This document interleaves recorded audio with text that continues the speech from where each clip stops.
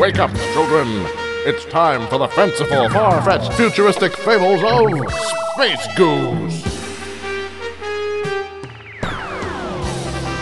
Accompanying the fantastic fowl on his adventures are Joe Rabbit, Sally Brosity, and First Mate Ugly. With the help of this motley crew, Space Goose battles the evil Dr. Donkey, whose hobbies include taking over the universe and ping pong.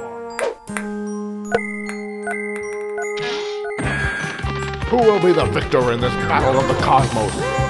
You won't know until you watch it. So keep your eyes on the screen and your enemies closer. You're watching Space Goose!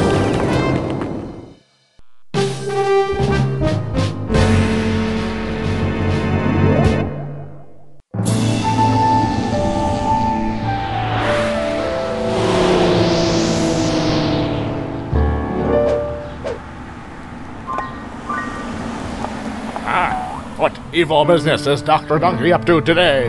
Is he executing a scheme to take over the universe? Or perhaps a plot to get rid of Space Goose? I'm just picking up some groceries. Excuse me, I'd like to get through.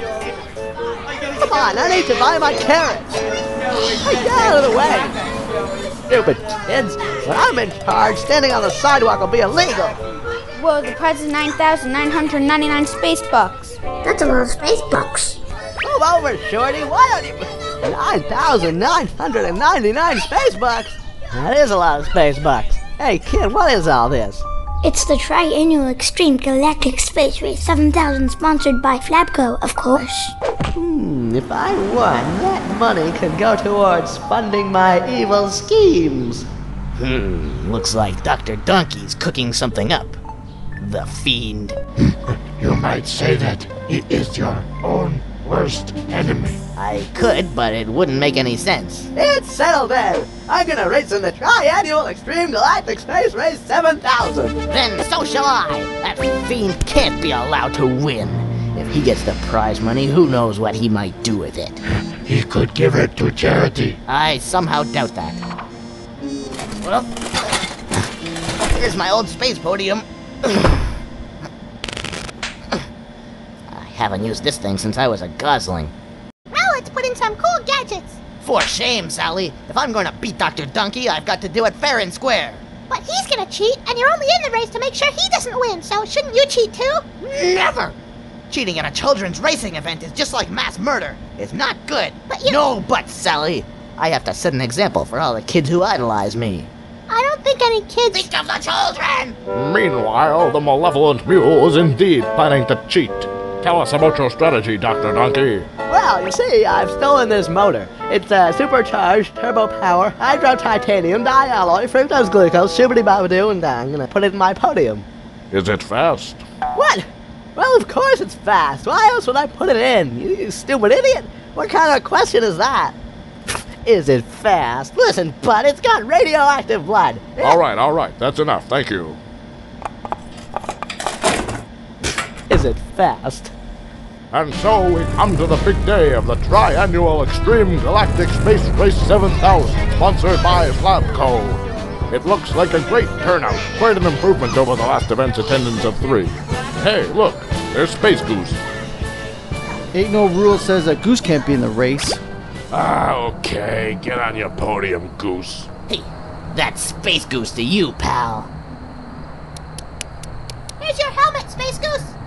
But I already have a helmet. I always wear this one. Well, this one's pink. You look so pretty. Ladies and gentlemen, start your podiums. Oh, we're starting. Sally, get out of here. You're going down, Space Goose. That prize money's mine. We'll see about that. Fiend.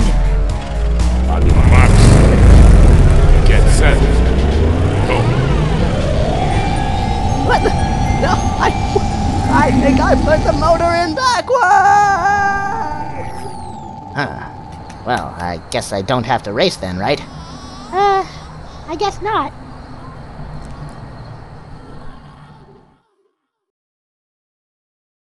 Hi, kids. In today's episode, when Sally and I were getting my space podium out of my closet, I made a big mistake. I tried to lift it all by myself, and it was really heavy. It slipped out of my hands and landed on my foot.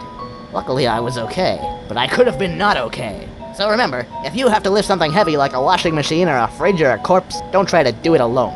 Ask somebody to help you.